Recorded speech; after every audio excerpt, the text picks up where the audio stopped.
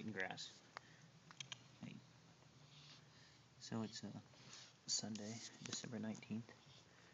It was about 27 degrees this morning when I woke up and had to go scrape some serious ice off the vehicle.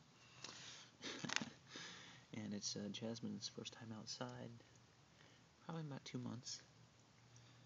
And uh, looks like a relatively nice day. You come out here and you see all the plants are, are once, you know, thriving plants are all dead. The garden's long since been yanked out.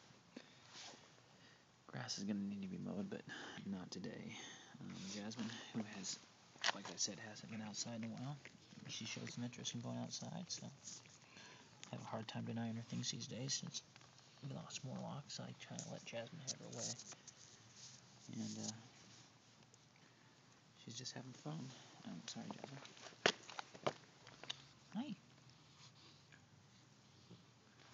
She's kind of explored the entire perimeter making sure everything's uh, a-okay. Now she's uh, kind of hunkering down, I guess.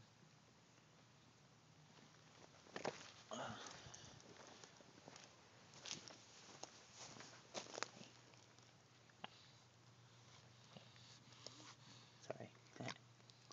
Alright, Jasmine. Oh. And, uh, you know what? Yeah, maybe it's time to go in. Okay, time to go in.